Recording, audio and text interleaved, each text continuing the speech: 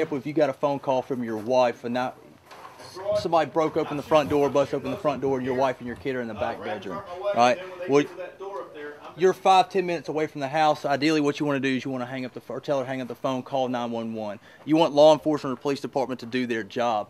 Um, if you have the opportunity while you're en route, you can call 911 as well.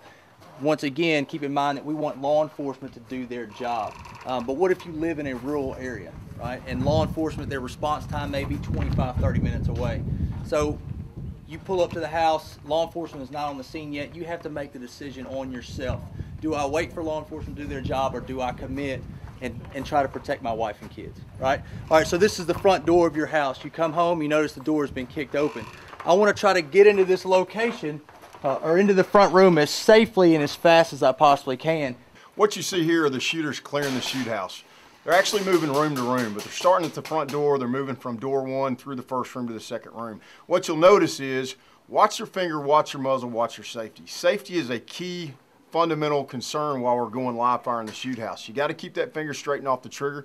You got to watch your muzzle where you're pointing it, whether it's pointing at a good guys, bad guys in the house. You've also got to watch when and where you take that safety off just to key off of what Jason said, I want you to consider right now we're in a sterile environment. It's kind of unrealistic because you should relate this back to your house. You're going in looking for bad guys, but you're also looking for good guys. Your loved ones may be in there, so that safety is paramount. You don't want to point your muzzle and attempt to cover someone that's your loved one. That's who you're trying to go in there and save.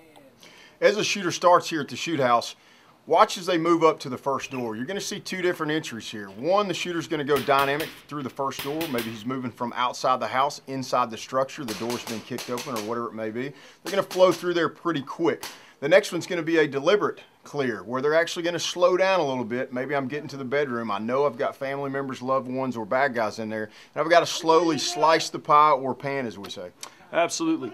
We also want to talk about the difference between what you see us wearing here, which is full kit, plates, rifles. That's range rules. That's what we have to do for this segment.